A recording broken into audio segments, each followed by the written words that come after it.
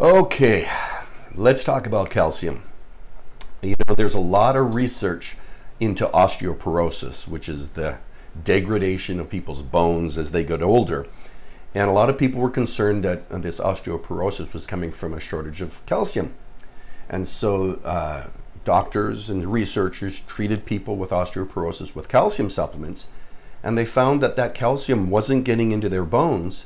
It was depositing on their teeth in the form of plaques. It was depositing in their kidneys in the form of kidney stones, in their gallbladder in the form of gallstones. But that for some reason, the calcium wasn't getting into the bones. And it was through research that scientists discovered that most people have a shortage of vitamin D3 and vitamin K2. Now, these used to be very prevalent in our society. For one thing, D3 our bodies manufacture with exposure to the sun. But we live less and less and less outdoors, and when people are outdoors, they're concerned about sun exposure, so they use sunscreen and there are many millions of people in the United States of America who have very deficient levels of vitamin D3. And in our bodies, D3 has been found to make sure our, our bodies can absorb calcium properly.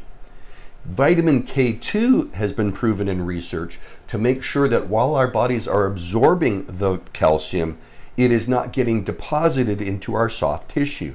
So it's not getting deposited into our kidneys. It's not getting deposited into our gallbladders. It's not getting deposited into our arterial walls. So supplementation with vitamin D3 and vitamin K2 make sure that the calcium that we have in our body goes to our bones so that we can have strong bones and doesn't accumulate in our soft tissue. And by adding this to the protocol, the two enzymes took away the fibrin, the vitamin D3 and the K2 made sure that the calcium was taken out of our soft tissue and deposited into our bones. So we could have healthy bones and we could have healthy soft, soft tissue, i.e., we didn't have gallstones, we didn't have kidney stones, and we don't have arterial plaques that are filled with calcium.